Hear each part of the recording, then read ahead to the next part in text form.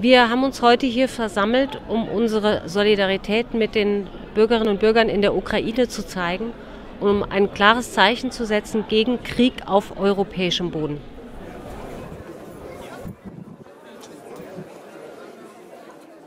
Ich bin wirklich begeistert. Wir haben gestern die Veranstaltung geplant, gestern dazu aufgerufen und es sind etwa 170 Menschen hierher gekommen, die hier alle stehen und die alle eines eint, nämlich der Wunsch nach Frieden in Europa und eben zu zeigen, wir sind solidarisch mit dem ukrainischen Volk.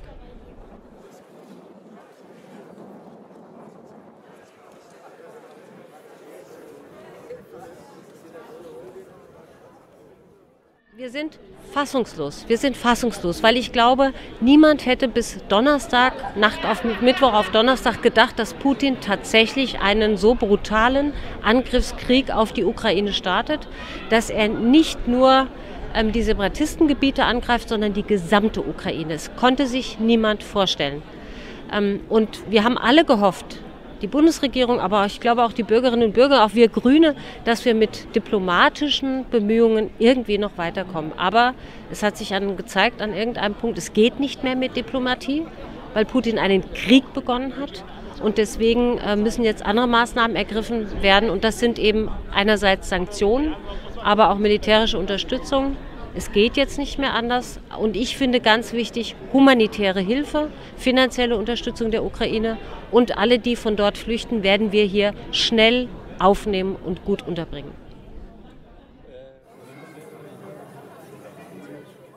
Das war ähm, eine Initiative, ähm, die ist, glaube ich, ähm, entstanden irgendwie im Kreistag, wo die ganzen Parteien ja zusammen sind. Und ich halte das für ungeheuer wichtig. Denn das ist ja eine Sache, die uns demokratische Parteien eint. Wir alle stehen für die Werte Europas, für Frieden, für Demokratie und für Freiheit. Und deswegen gehen wir auch zusammen auf die Straße morgen und haben eine gemeinsame Resolution verfasst, die wir morgen hier verlesen werden. Auch die Kirchen werden dabei sein. Und das brauchen wir jetzt, eine breite gesellschaftliche Bewegung und eben auch eine gemeinsame Bewegung und eine gemeinsame Haltung aller demokratischen Parteien hier in Deutschland, in Vogelsberg und in Hessen.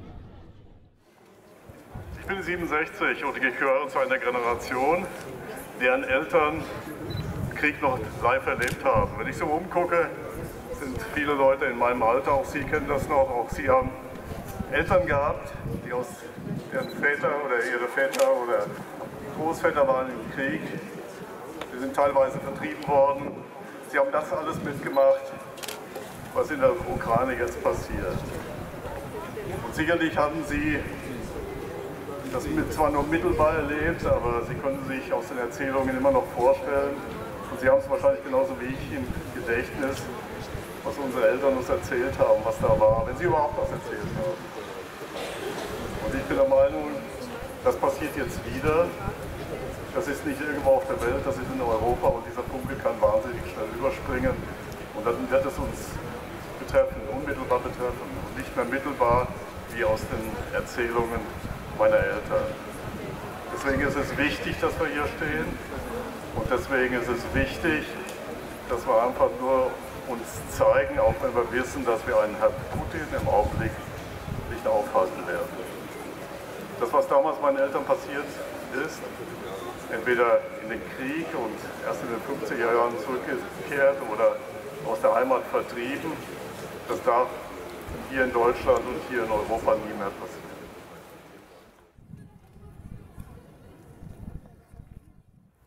Warum stehen wir jetzt hier heute? Manche Leute haben in den letzten Tagen gesagt, wer nimmt das wahr, wenn ich mich in Lauterbach auf die Straße stelle? Das juckt doch einen Putin nicht.